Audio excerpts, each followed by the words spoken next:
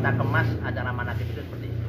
Jadi pertama prosesnya solawatan, kita solawatan nanti ada tausiah tausiah sedikit, kemudian pertanyaan atau tanya jawab dalam bentuk SMS.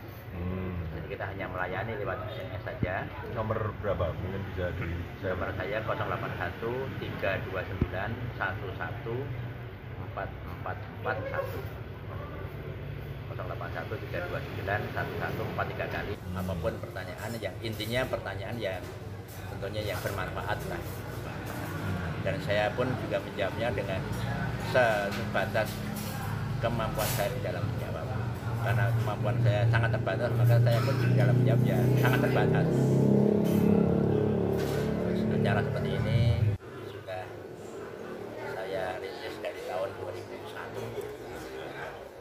Tempatnya aja yang begini. Banyak juga di sini sudah